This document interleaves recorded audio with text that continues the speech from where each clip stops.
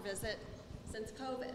Wow. So, welcome Thank to the you. building. Let's celebrate the fact that we have a real live speaker and visitor. So let me tell you a little bit about our guests. So uh, this John Thompson, he grew up with the guy in the painting behind the screen. Raise your hand if you know who that painting is, Sam. Mr. Secor, that's right.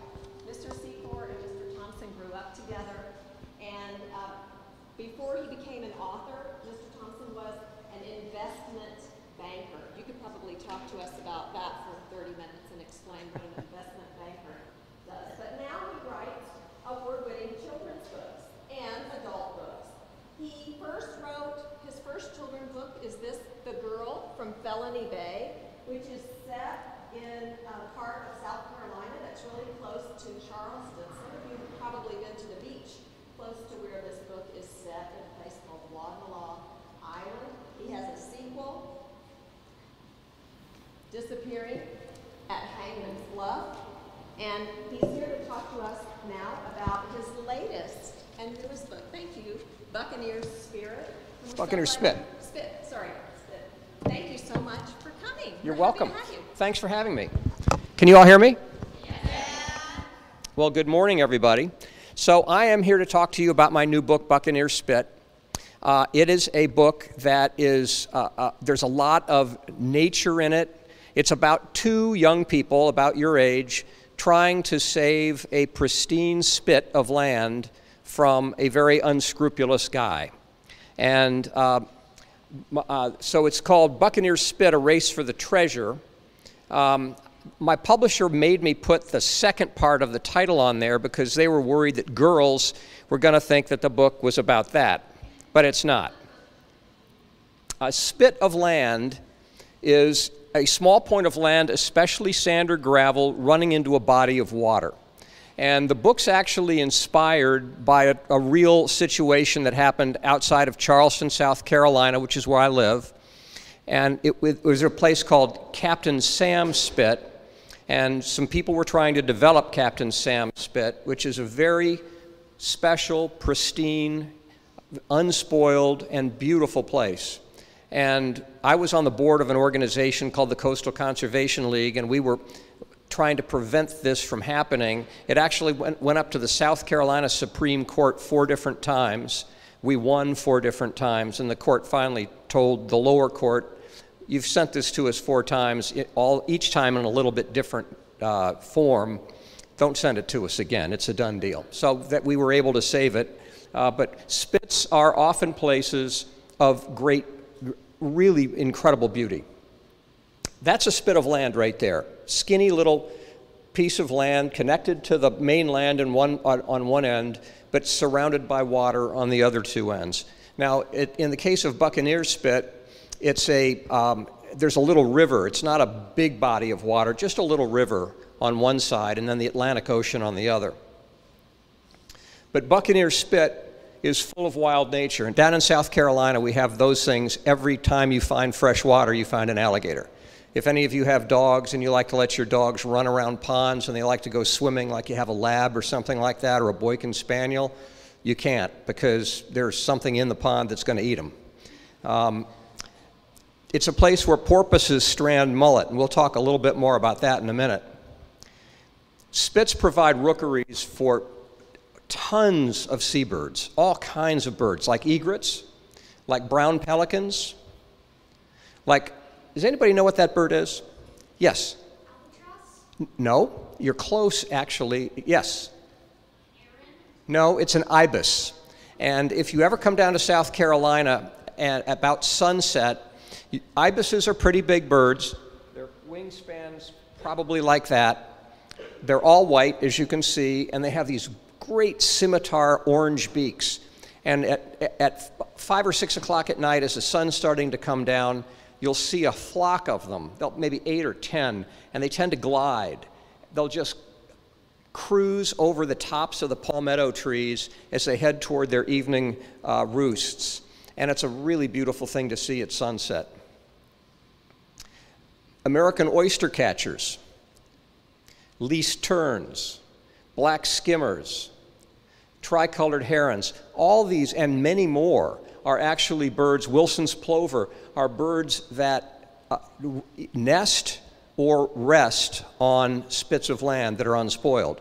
Uh, they, they will stop doing it in many cases if they get if, if they start to build on those places because they need places that are safe and quiet.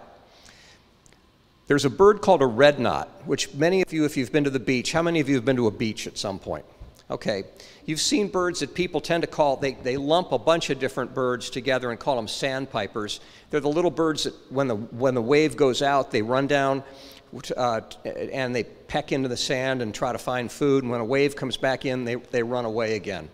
Then they're kind of fun to look at. And if people have their dogs on the beach, the dogs like to chase them and make them fly. The thing about red knots that's important is that First of all, red knots are in the steepest decline in years because the habitat, and these guys are, they're, they're a great indicator species because when habitat gets destroyed, fragile species like red knots uh, are the first to, to show the effect of that destruction of habitat. But why, why the big deal on red knots? Red knots actually migrate every single year from down here at the tip of Argentina all the way up, all through South America, all the way up here, and all the way up to here. They go 9,000 miles twice a year. These little birds about this big, they don't have much fat, and so when they fly in and they, they land on some unspoiled spit of land in a place like South Carolina, they absolutely are out of fuel and they are exhausted and they need to rest and they need a safe place to do it. So even if people are around the beach and they're letting their dogs chase these funny little birds that you know go down and back and down and back when the waves come in and out. Those birds actually are uh, uh, in mortal peril because they don't have enough energy left to keep flying if dogs are chasing them. They need to rest and eat Another thing about spits that's really interesting is that it's a place where loggerhead turtles, loggerheads are an endangered species. They're sea turtles. They come onto shore one time a year, and that's to lay eggs. They come in once, they dig a hole in the sand, they lay their eggs, they fill the hole up, and they go back out to sea. when the baby turtles hatch, they come out of the sand and they, they almost always hatch at night. They come out of the sand and they look for light. They look for starlight and moonlight. Because if you think about an unspoiled beach, behind them there are trees that block the light, but out in front of them you have the open ocean and you have it's faint light, but there's light that, that they, and they move toward that light because they, for their survival, need to get into the water as quickly as they can. A lot of predators, foxes, coyotes, possums, raccoons uh, will be out waiting for them to hatch, hoping to get a meal, and they need to get to the water as quick as they can. Now, if there are houses along the beach, the houses, and if the houses have their lights on, the turtles will go the wrong way. And they'll go back and they'll, they'll end up on the, in the lawn, somebody's lawn, and, and they will not make it to the ocean and they will not survive. So, e even on, in places where turtles do nest, where there are houses, there are all kinds of volunteers that come around and ask people to, um, when they spot turtles' nests, they spot the places that have been dug up, they'll put tape around it, ask people to keep dogs off the beach, and then they'll ask people who live in the houses to turn their lights down at night, turn their lights off at night on the water side, so that the turtles, when they hatch, don't come toward their houses, but in fact go the right direction. Now, you all know why you shouldn't throw plastic bags in the water? Yes, sir.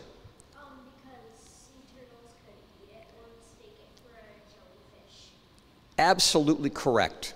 The favorite food of sea turtles is our jellyfish. And, jelly, and sea turtles have horrible eyesight. I mean, really bad eyesight. So they swim up to a plastic bag and it looks to them just like a jellyfish and they'll eat it. The problem is when the, when the plastic bag gets in their stomach, that's as far as it's going. It, they can't digest it, it can't go through them.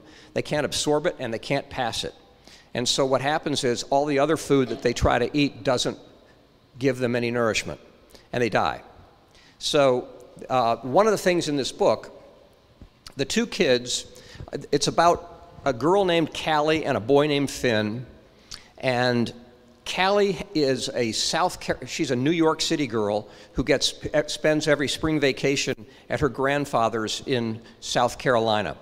Now, when Callie goes down this year, this particular year when the book starts, she's going down to South Carolina by herself, not with her, her parents. Her parents have always, they've always done this together. It's always been a family trip. Only this year, her parents have some secret that they're talking about and they're upset about it, and she knows that they're upset, and she's convinced that they're getting a divorce. She's wrong. She'll find out in the process of the book what hap- what's really going on, but she's really upset when she gets down to South Carolina. She doesn't like being, being cut out of whatever it is that's going on that seems to be very important in her family. Now, her grandfather happens to own Buccaneer Spit. He bought Buccaneer Spit. He's a retired school head, and he bought Buccaneer Spit in order to preserve it forever. And he loves this place. He loves nature. He's a total nature nut. And when Callie gets down to South Carolina, she finds out from Finn that her grandfather's selling Buccaneer Spit. She can't figure out why this is going on, too. So there, there are now two big mysteries in her, in her family, and both of them are really bad. And, she, and her grandfather is not telling her anything about his, his impending sale. She finds out from her friend. Her grandfather doesn't say a word to her.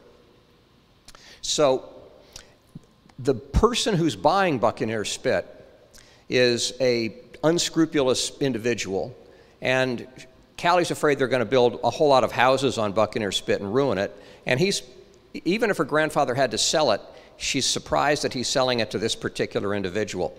Now, when they see this individual on the beach, he's got this piece of paper that he keeps referring to, and he tucks it back into a plastic bag and it sticks it in his coat pocket but he, it's something that he really cares about, apparently.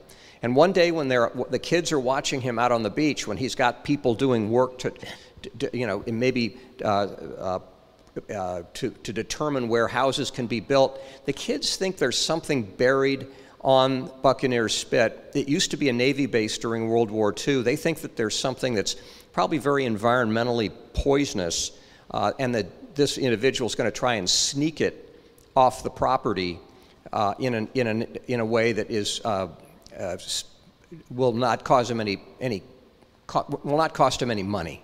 And that he's going to try and get around all the environmental rules. And that's, that's their initial thought. So he's on the beach one day, he's holding this plastic bag with this paper in it, and the wind rips it out of his hand and sends it out into the, into the water, out into the Atlantic Ocean. And when it lands in the water, a sea turtle sticks its head up takes a look at that plastic bag and eats it.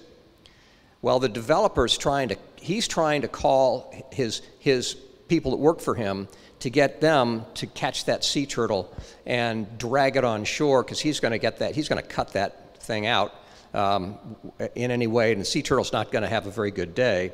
The kids call what's called Sea Turtle Rescue, which is actually in South Carolina something real and it's part of the, the Department of Natural Resources, and they pick up sea turtles that are having difficulty. There are three big reasons why ha they have difficulties, um, and I'll, explain those in a second. But they take the sea turtles to the South Carolina Aquarium where they have a sea turtle hospital. And I've been through the Sea Turtle Hospital. If you ever get down there, ask for a tour of it. It's a very cool thing to see. But the reasons, three reasons that sea turtles become uh, uh, sick are one, they've eaten plastic, or they've, yeah, some kind of thing that they can't pass. Two, that a boat propeller has hit them and, and has cut their shell. And three, uh, it happens in the wintertime sometimes. There'll be a big cold snap, and these are cold blooded creatures. They can't live in water that is too cold. And if they try to swim south and get to warmer water, but if they can't do it fast enough, they actually get paralyzed in the cold and they will drown. So, uh, in all three of those cases, uh, the sea turtle rescue will pick them up, take them into the sea turtle hospital, and they will be resuscitated. In, in the case of a cut shell, they can stitch uh, underneath the shell, the doctors, and then they can glue the shell back together. And they will keep the sea turtle there until the, until the uh, injury is uh, uh, healed enough, and then they can they release it back out into the wild. The same thing if a cold, if a cold shock turtle comes in, they slowly but surely bring its temperature back up, release it again. And if the turtle comes in with something in its stomach, they do an endoscopy, which is they sedate the turtle and they put this big long, this big long instrument that has a light, a camera, and a pincher down its throat, and they remove the offending article. And, and then when, when you go to the sea turtle hospital and they've, uh, they've operated on one of these turtles, they will have next to the turtle, because they have them in these kind of big baby pools, and it'll have next to the turtle the thing that they took out of its stomach. And a lot of times, you've all been to birthday parties where people have helium filled balloons, and one or two of those will get away. And if they go out into the ocean, uh, those they lose their gas at some point. They fall in and they get they get eaten like candy by sea turtles. And so you'll see all these things that they've taken out of sea turtle stomachs. So Callie and Finn call sea turtle rescue, and the sea turtle rescue gets there before the the the, bad guy can can uh, have his people catch the sea turtle. Sea turtle rescue takes the turtle into the into the aquarium and the next day, Callie and Finn go in and watch the endoscopy. And they tell the, the vets after the uh, operation is done, they said, you know, we're the ones that called that turtle in. Could we have the bag that you took out of its stomach? And they said, well, we normally don't give those things to anybody, but yeah, in your case, we will, because you did such a good thing. So when they get the bag, they expect to see something very different when they take the paper out of it. But what they find is something that looks very much like that. And then the book becomes a race to find out where that map leads and what it leads to. So that's kind of the, that's kind of the, the, gist, the gist of the book. I'm going to give you a quick reading to give you a little sense of what the book's like.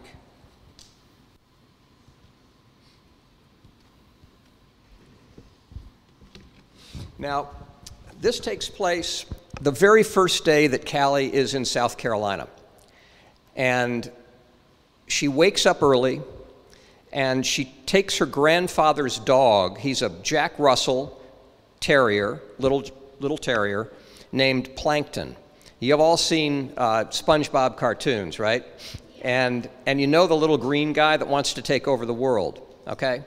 That's the personality that a Jack Russell Terrier has. So I threw the ball another six or seven times until Plankton's tongue was hanging out of his mouth, at which point I took the water bottle from my bag and poured some into my cupped hand to let him drink. Afterward, he trotted beside me as we walked toward the very end of the spit where the river met the ocean. The morning was cloudless, the temperature already getting up into the 70s, and a nice sea breeze keeping the gnats away. I sat on a palmetto log a few yards above the tide line that had been washed in by a storm. Unlike most beaches where the water gets deep slowly, the river had scoured out the ocean bottom here, so it dropped sharply just a few yards offshore. Also, because of the river, the current was often very powerful and unpredictable and could easily sweep a person out to sea. I knew never to swim here, and Plankton didn't want any more to do with water than to get his feet wet, so I didn't worry as I watched him trot down by the ocean's edge and sniff the shells. Out past Plankton on the horizon, a distant freighter looking as small as a toy boat angled its way toward Charleston Harbor. Closer in, a sailboat with all of its canvas up was heeling down the coast, its white sails looking like the wings of a seabird. Everything sure is peaceful and quiet, I said to Plankton, but some people might also call it boring. I was thinking that a lot of kids I knew would roll their eyes and ask what there was to do here. But if mom and dad had been there, they would have sighed and said how perfect it all was.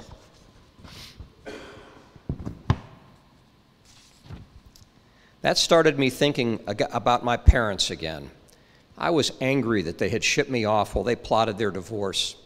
If they'd let me stay home, I could have convinced them that they were, they were being ridiculous and that there was more to think of than just themselves. There was me. I could have shown them what we all meant to each other, but without me, I was afraid that they would end up doing what a bunch of my classmates' parents had done and just go their separate ways. Then there would be weeks with mom and weekends with dad and separate vacations with just one of them. I was hunched over, lost in my own dark thoughts when it happened. For a few seconds, nothing was different. Plankton was right in front of me, sniffing near the water's edge. But then he came to a sudden stop, laying his ears back as he looked out at the quiet sea. After a second, he started to growl, but not the kind that said he wanted attention or was getting bored. It was a really deep one, the kind he made when he was getting set to fight. One thing about Jack Russell Terriers, they don't back down, not ever. They might be little, but they have the courage of lions. They're also smart. But here Plankton was, acting totally wild, with his hackles sticking up, growling at absolutely nothing but empty ocean. At least I thought it was nothing, until the first mullet jumped right out of the water onto the shore. Then, about two seconds later, another mullet jumped onto the sand. Then a couple more. And then a whole bunch of them started erupting right offshore in a huge flopping tangle that reminded me of popcorn popping. Some of the mullet landed back in the water, but a lot of them came clear out of the water onto the sand. With the fish frantically slapping their tails into the sand on either side, Plankton whipped his head one way, then another, and let out an even angrier growl. Even though I had to admit it was very weird, I almost started laughing at the idea of Plankton being scared by a bunch of silly fish. There's nothing unusual about mullet jumping. They're probably the most jumpiest fish there are. No, nobody knows for sure what makes them do it, but while they jump a lot, they tend to do it one at a time, not all together in big groups. And I had never, ever seen them jump out of the water onto land. I stood up thinking I would throw the crazy beached mullet back into the ocean when the shoreline really exploded. Four huge gray torpedoes shot out of the water, partway onto the sand. Each of them had a pointy mouth full of big teeth, and they started eating the mullet that had jumped ahead of them and were now flopping helpless. I froze, shocked by what I was seeing, even fearing for a second that the big gray shapes were going to keep coming right up the shore to grab me. Even as scared as I was, I could already see that they weren't sharks. These were porpoises, creatures I had always thought of as cute and friendly. Part of my brain was telling me that porpoises couldn't come onto shore to eat people, but the other part of my brain saw that mass of big, squirming, snapping gray bodies and flopping mullet with Plankton right between them, and I was suddenly terrified. Plankton, I shouted at the top of my lungs, get away! Unfortunately, just like any Jack Russell, even though his tail was tucked between his legs and he was probably as frightened as I was, Frank Plankton wasn't going to retreat, not even from huge porpoises who were chewing mullet as fast as they could grab them. He just stood there with the hair on his back sticking straight up and his lips curled back over his teeth in the ugliest snarl he could manage. I knew he was halfway ready to jump on one of the porpoises and fight it, but Plankton was a whole lot more mullet sized than most dogs. It would be too easy for one of the porpoises to grab him and drag him back into the sea. I had to do something, but my body seemed stuck in place. I tried to shout again, wanting to call Plankton to me, but I couldn't even get more words out of my mouth. Everything seemed hopeless when out of the corner of my eye I saw another streak of motion. A person ran past me. There had been no sign of anyone here on the spit, and I had no idea where this one had come from. He raced toward the water at top speed, then bent down and scooped up Plankton without slowing, leaping over a porpoise just as it chomped down on another mullet. A second later, Plankton's rescuer was standing on the pal- by the palmetto trunk where I'd been sitting. He was about my age, with sandy hair worn a little bit long, blue eyes, and a friendly smile. With his chest heaving somewhat from the sprint, he continued holding Plankton while the porpoises finished up the last of the beached mullet, then squirmed their way backward into the ocean and disappeared. You're staying right up here until the danger passes, the boy said as he looked down at Plankton. The Jack Russell wasn't even growling, which was amazing because Plankton didn't take well to strangers. Normally, a person he didn't know could never pick him up without risking a serious nip. I suspected Plankton was in shock, but it was also possible he was showing gratitude that someone had whisked him away from the gray monsters that could have devoured him. In any case, Plankton rested quietly until the boy put him down at my feet. Your dog almost got stranded, he said. Stranded, I said. He almost got eaten. That's what I meant. When porpoises drive fish onto the beach, it's called stranding. It's one of the ways they feed, and this is one of their favorite places to do it. So that's, that's actually true porpoises will do that. They tend to do it only in places that are pretty deserted. that actually Captain Sam Spit that I talked to you about before is one of the it's one of the, their favorite places to strand porpoises. And if you happen to be close to the water when they do it, it will scare you. Uh, I mean, you, you can't believe what's going on. Uh, suddenly, these fish, I mean, these six foot porpoises are shooting right out of the water, eating the mullet that they've driven up onto the sand. So, anybody got questions? Anybody want to ask questions about writing, books, editing? Yes. How long did it take you to do the book? Like. So when I write a book, it takes me about three months or four months normally to, to get a first draft. And then it takes me probably another six months or more to edit it and get it into the shape that I really want it to be in. So your teachers probably all tell you that when you get assigned a paper, you should write it right away and maybe put it down for a few days and then look at it again and rewrite it. Anybody ever heard that from their teachers? Anybody like to do it? Okay. I figured as much, but that's so important. If, if, if, have any of you ever said something really fast and then you wish you could take it back? We've all done that, right? In my opinion, that's what a first draft is. That's a first draft is when you say it quick, you get it out on the paper, you think you've said what you think you've answered the, the, the, the assignment, you've done what you were supposed to do. But I promise if you put it down for five days and you go back and look at it, you'll find places that you've said something but you haven't said it well. You've missed a point that you should have made. You've said something twice that you don't need to say twice. And you will find that you're, whatever you do, it won't take you that long, but you make it better and you make it considerably more convincing. And as a writer, if, if a writer doesn't rewrite, a writer will never have a book published ever. And most of us have written a lot and rewritten even more. So that's, it's really important. Um, the other thing I will tell you um, is that how many of you have written a poem or short story? Okay, almost every one of you. You're using your imagination, and your imagination, you may not want, you may want to be a writer, you may not want to be a writer. It doesn't really matter. Using your imagination is like building a muscle. It's an invisible muscle, but it's very much a muscle. And if you, if you think about what companies want today, if you think about working for Apple Computer, or you think about working for Tesla, or some really cool company like that, which is maybe what some of you are going to want to do someday, being creative is critical to getting a job with those kind of people because that's what they're looking for. They're looking for people who not only can work hard and do their job and understand the things that they need to understand, but people who can think of doing it better. People who can think of doing it differently in ways that are really attractive and really exciting. So, whatever you, whenever you think about that, think about building your imagination. It's a big deal. It's a very important muscle. Yes? I'm sorry, say that again? How do I get an idea for a book?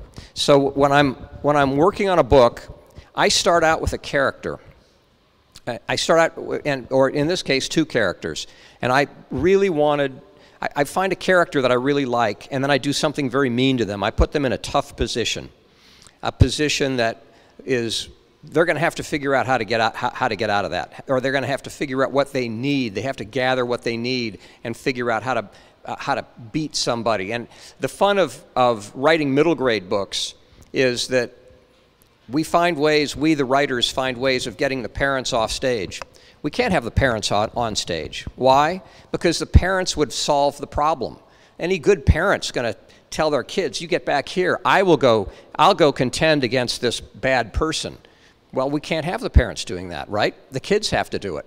The kids are less mature, weaker, that don't have the same resources that the bad guy has, and yet they have to beat them.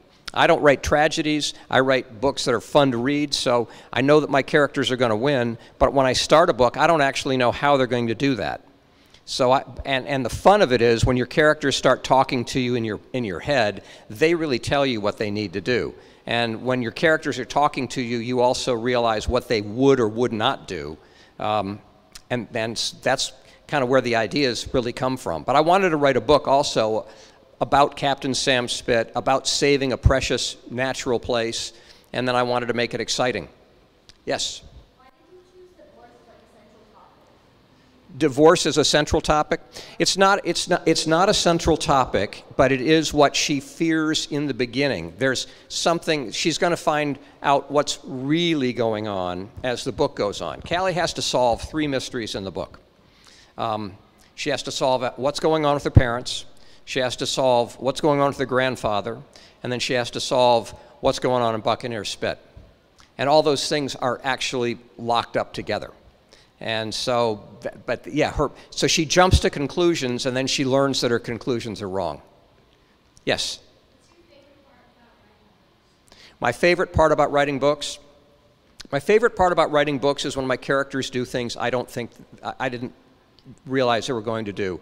And that happened to me on my second novel.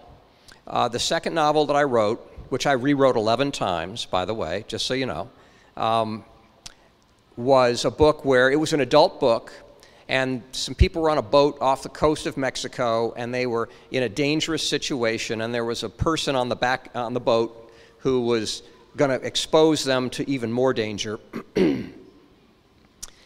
and I had, at, up until that point, I had written an outline. I thought you had to write an outline to write a novel.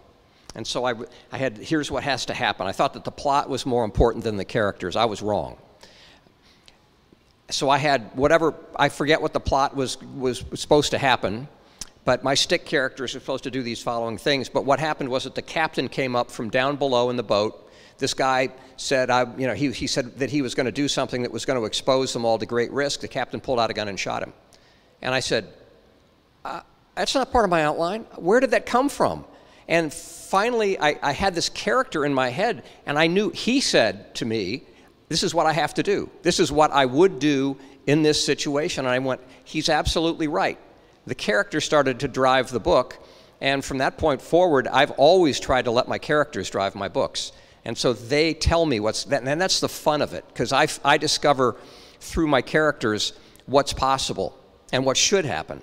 And then I try to, then you just try to make it more and more exciting you try to, what they keep calling raise the stakes. So instead of having somebody have to jump off something this high, they have to find a way to jump off something 2,000 feet high. You know, so there's, there's got to be a, a, life, a life risk in the book in order to, for it to be really fun. Yes? Uh, building on the Magnus question, what's your least favorite part about writing My least favorite part about writing a book um, is when I've given it to my agent, biting my fingernails until I find out whether a publisher is going to buy it. That's my least favorite part of writing a book. And I've, I've written books that haven't been bought. So um, you put a lot of time into writing a book, and, and sometimes people don't buy it for reasons that maybe, maybe are even political. So, you know, it's, a, it's kind of a, it's a funny thing. But um, what else do I not like about writing? Yes, I'm sorry. Um, you draft. What's your daily writing habit like, and where do you like to write? Um, I have two or three places I like to write. We, we have a home in Pennsylvania that I love to go to because it's way out in the boondocks and it's quiet. Um, when I'm not fishing, I'm, I'm writing. I love that. I lo in Charleston, uh, I either write on the porch or I write on the third floor. Just I have you, you, you know you kind of create these little um, quiet, safe places that you can write. And no, no, no, no, no. I, I, I tried to write by hand. I thought at first that that's what I should do. I tried to write on a legal pad. But you have to, you come up with so many ideas as you're writing and you try to slot another sentence in, but there's no room, so you write it in the margin and you write it this way rather than that way. And then if you don't type it in right away, you can't even, I, I couldn't even read my writing. It was so small and I, I didn't even know where things went. So I started writing full time on a computer. And that way, if I make a mistake or I rethink something, I can cut it and paste it someplace, or I can, you know, paste something else in there and it doesn't make a total mess. Yes? Right inspired me to write this particular book. I should stay close to this, shouldn't I? This, I guess the microphone is. What inspired me to write the book was the real, in this case, the real situation with this, with Captain Sam Spit, because I, I, I helped work on that, and that was something that I was really proud that we were able to do. I wanted to write a book about being able to save a, a, a natural wild place. That's what inspired me. But then I started to think about what else inspired me, and so there are about three or four other themes in the book that are a lot of fun that I also cared a lot about. Yes? Can you say that a little louder? What, what was your biggest hit? My biggest hit so far has been The Girl from Felony Bay because it's been out a long time. It got it, it won a bunch of, uh, of different things. It was a finalist for the Best Book Award in seven states. It was it did it did quite well. I'm hoping this book's going to do some of the same things. Yes. About all the books I've written, the, uh, two books really. Buccaneer Spit and The Girl from Felony Bay are my two favorite books. Yes. Um, so while looking at the one right here, the doctor back there, you got a award. What award did you get? No, The Girl from Felony Bay uh, went through the. this book's only been out a couple months and it hasn't gone through the award cycles yet. I'm hoping it gets some, but uh, The Girl from Felony Bay got, got a, a bunch. Yes, ma'am. Uh, is all of your books on like nature, like how your this book was on like like turtles and plastic bags and nature stuff? I, I would say nature plays a role in all my books because part of the reason is is that they're they're set in South Carolina. They're set down in coastal South Carolina, which is a very beautiful, very wild place where nature is really visible and and it's you're just so aware of it. It's almost like a character in all my books, and uh, I don't even think about, you know, I, I have thought about it, but in retrospect, I don't think about it in, uh, in as I'm writing my books. But I, I, f- I think that the place is important, and the, in South Carolina, the place, and coastal South Carolina, the place is powerful, and it's fun to write about all the different things that are there that, that are cool to be around. Yes. started writing the next book yet? I am. I'm writing a book right now that's uh, kind of a science fiction story, um, a, a little bit. So I'm working on that. I'm about 150 pages into it. Pardon me? What kind of mistakes? That's a good question. What kind of mistakes do you make when you're writing a book? Um, I remember when I started writing, I thought that I had to write every single day and keep writing.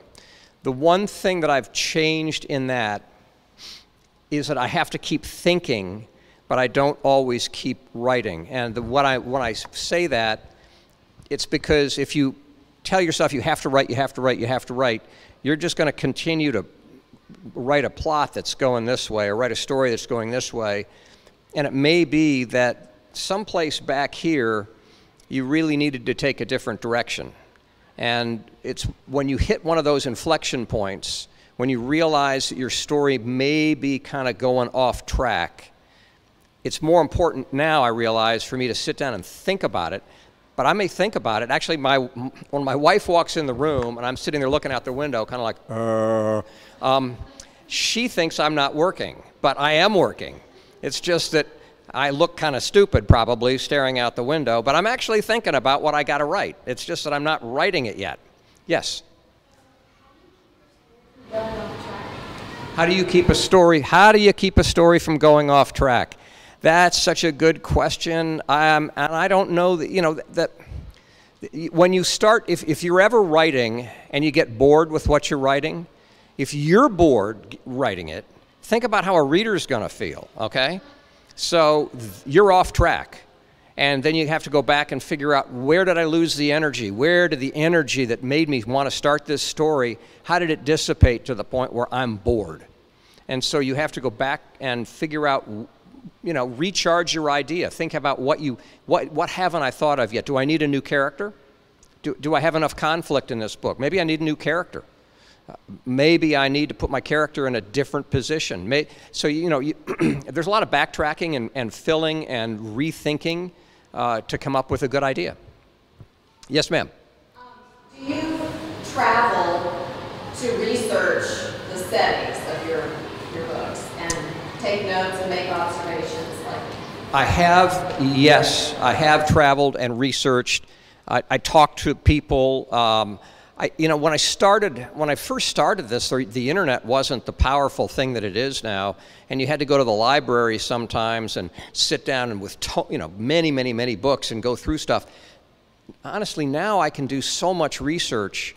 It's almost unbelievable how much research I can do from my desk, uh, and it's almost like I'm going places. I- It's, I mean, it's just amazing what a, what a resource the, the internet has become. Um, you know, I, I, I'd, I'd rather say I have to go to Paris in order to, to, to, to do this, uh, but um, I can almost, I can't smell the croissants, but I can almost.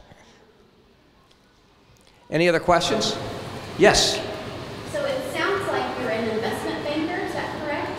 Yes. So did, have you always enjoyed writing as a hobby, or is this something that you found after your banking career? So I started out, you know, I, I grew up in Toledo, Ohio, which is a kind of manufacturing town, and I went to a, um, a really highly rated public school. But we never had an author come. We never had a, we, we never had any exposure to, uh, you know, we had art class, but we never had any exposure to arts. I went to boarding school, and my senior year in high school, my English teacher asked me if I wanted to go to a poetry reading. And uh, we went to another uh, school and heard James Dickey read his poetry. He's a Southern poet. And it just flipped a switch in my brain. And I went, I, I'd always thought of authors were dead. I mean, because you, you go into the library and there are all these musty smelling books, but I never had encountered someone who wrote and did it and who was a living, breathing person. And I said, I want to do that. And so I, I went to Middlebury College in Vermont we had no fiction writer. Now they have Julia Alvarez, but we had no fiction writer on the on the sta- on the uh, uh, faculty. They had a poet. If you wanted to do independent studies in writing, you had to do poetry. So I did poetry, and I was a poet for four years. Uh, I got out of college thinking that I wanted to be a poet. I realized that poets starve. I decided that I didn't want to starve. I, and I'd also, after all the money that your parents have paid to put you through college, to say, well, I'm going to be a poet, um, I just didn't think I could do that to them. So I went to Wall Street, where I had already been offered, somebody luckily had offered me a job. And I was going to stay for three years and then think about getting my doctorate in English, maybe teaching college. I, I, and, uh, but it just, three went to four, went to 20, went to 25. And then I raised my head one day and I said, I have to be a writer. And I saved enough money to put my kids through college. And I said, I'm, I'm out of here. So then, you know, and I, I'm lucky that I did what I did first because it's really hard to make a living as a writer, but it's really fun to do it. You had a question also. I was just going to ask, um, how extensive is your research um, to make sure that the story is both realistic? I guess what I'm asking is like, how much of it is real, how much of it are you making up when it's connected to something that is real, like the spit? So, so I really wanted to write about the spit, but I realized that if I were your age, I wouldn't want to just read about some guy writing about nature. I mean, nature is really cool, but you know that's more specialized interest. I mean, that's you know something that we encounter more as adults when, when we've really decided we're committed to something, an interest. But I said, how do I make this really fun? And so, really fun is the map and where the map goes and what happens for the last third of the book, which is that's the life threatening part of it, which is really fun. Um, and the good guys win. So it's a fun book. You had, oh, yes, I'm sorry, you have a question. I can't tell you that. You have to read the book to find out where the map goes. The, the, where the map goes is, is that's the fun of the book. Um, you had a question. Well, I felt like there was a nice segue to the publishing process. Would you just talk a minute about what it takes to get published and So when, when you decide you want to be a writer and you want to publish a book, there are two ways to publish a book. One way is they call self-publishing, where you can publish the book yourself without a publisher.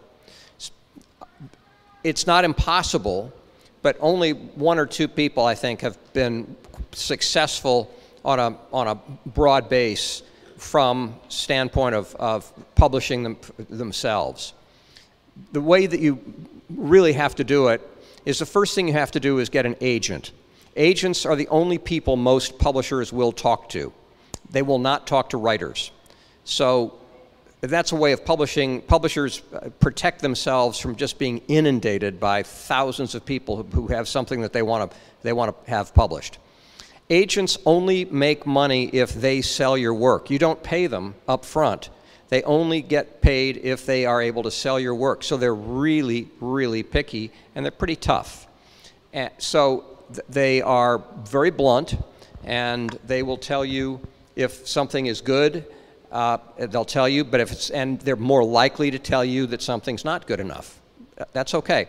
I've been in my agent's office on uh, any given morning. They will have a stack like this of unsolicited manuscripts that have come in from people all over the place. And they have a young person there who's just out of college, who's paid very poorly, and they have to, uh, all they do is spend all day reading those things.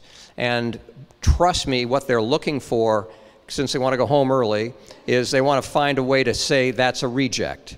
And so, if, and, and when, if you ever decide you want to be a published writer, go to the library. There's a book of agents in the library. And it each agency will tell what they do, what kind of books they publish, and how to submit to them. And they're pretty specific.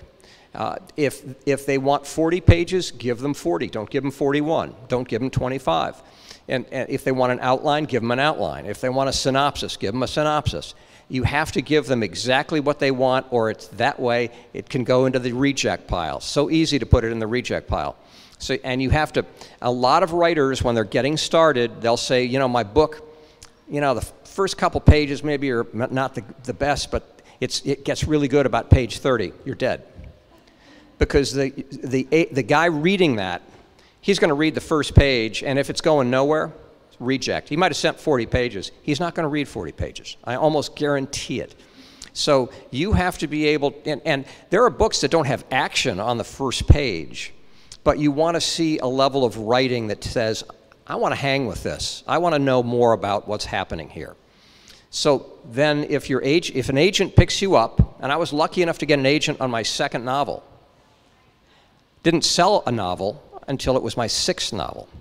So my first agent went through about three or four novels with me, didn't sell any of them, kind of said, see ya. And then I had to get another agent, got another agent, and then they finally, and, and I was trying to write literary adult work, and the, my agent finally said, will you please write something that has a sexy plot? So I wrote a book with a sexy plot, and that got published, and that did quite well.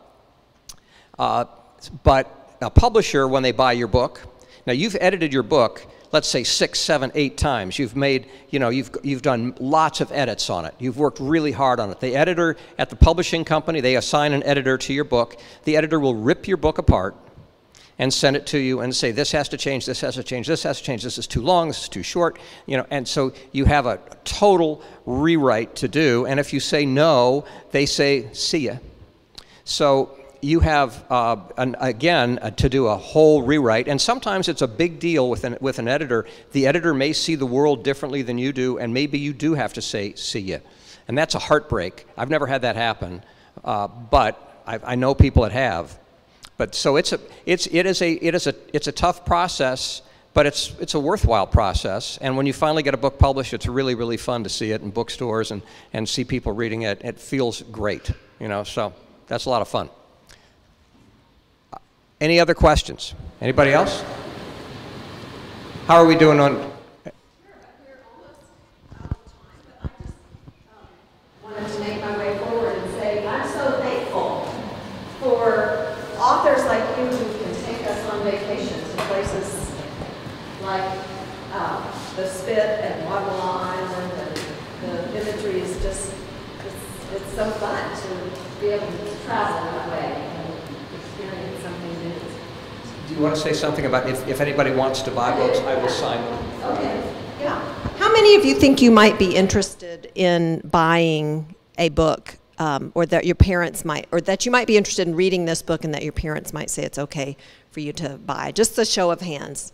Okay, that's sort of what I expected. All right, we have about 20 copies available, and I, um, and we have more in the car. So. Um, how much are they? Uh, let's say $16. Okay, $16. All right. Um, okay, okay. What I'd like to do is get uh, those of you who want to get a, but we're going to have our chapel service here while we've got folks. And then once we dismiss, I can have those 15 of you that think you might be interested in getting a book stay back just a minute and let me get your names. And we can charge your accounts for those, I think. That's, I'm, I'm looking at teachers nodding. Does that sound like that might work? Okay. Okay. All right. Um, you guys were a great audience. I know it's a long time to sit crisscross applesauce, and maybe we need to um, uh, wiggle a minute before chapel. But can before we do chapel, can you please give Mr. Thompson a really nice round of applause and thank him for his presentation?